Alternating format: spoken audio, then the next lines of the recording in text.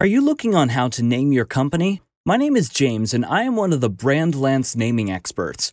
At Brandlance, we offer naming help and also we sell ready-made brand name ideas. In an era where sales and revenue are driven by brand identity, coming up with a good business name is a top priority. Sure, let's concede that the process sounds simple enough. After all, how hard can it be? But the fact of the matter is that naming your company is one of the most agonizing and frustrating tasks you will ever undertake in your career. We have brought you some tips that can help you speed up the process and make up your mind. 5 Best Practices to Name Your Company 1.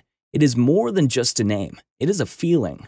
Let's go back to business school. What's in a name? A feeling, a message, a purpose, and many things more. Consumers can interpret your brand in so many different ways you need to convey a positive message about your services in a word or two. For instance, Timely Movers conveys that your moving business never misses a deadline. Most of the people who are moving to a different city want the process to be done without delays. So that's how you address an issue that predominant while conveying your brand's USP at the same time through a name. 2. Sit down with your team for brainstorming sessions. As soon as you have a brief idea of what your business name should convey, it is time for you and your team to put on your creativity hats. Let's get something straight. Names that sound too generic are always a turnoff. It is also important to not rush this process. Agree upon a constant. Your company name should have words that address your industry or audience while exhibiting your unique value proposition at the same time. Once you have a good set of prospective names, cross-check and verify their availability online you would definitely not want to have a web address that spells differently. 3. Strive to keep it short and simple. What is a name worth if people can't remember it?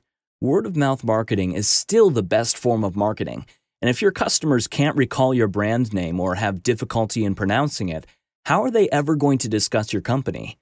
The idea is to diversify and simplify at the same time. For example, look at Tesla. It is a short and simple name, but conveys innovation, science, and cutting-edge technology. If this step becomes too tedious, try studying some successful brands and investigate how they came up with their names. 4.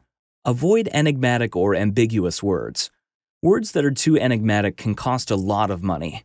The only way to push your uncanny brand names into the market is by pumping in loads of cash into your marketing strategy. For most companies, that won't be an option. Unless you have a vision and a plan in place that could justify obscure brand names, avoid them at all costs. Some names might sound cool without conveying much meaning. There are always better alternatives to these. 5. Field test. Let's say that after a week's worth of hard work, you have zeroed in on what you and your management think is a great name. Don't settle. Your team's opinion does matter, but always push for an outside opinion. Here's a fun fact Approximately 77% of all consumers make purchases based on a brand name. That is how decisive a name can be to the future of your company. The power of a brand can't be underestimated, and every second you invest in the creation of an ideal name is well worth it. If you're having problems with coming up with a great company name for your new business, then we can help you with that. Just contact us on our website, brandlance.com, and we will help you with business naming suggestions. We can also help you with logo design, marketing, and website development. Also, if you would like to learn more about how to build brand authority, then subscribe to this channel.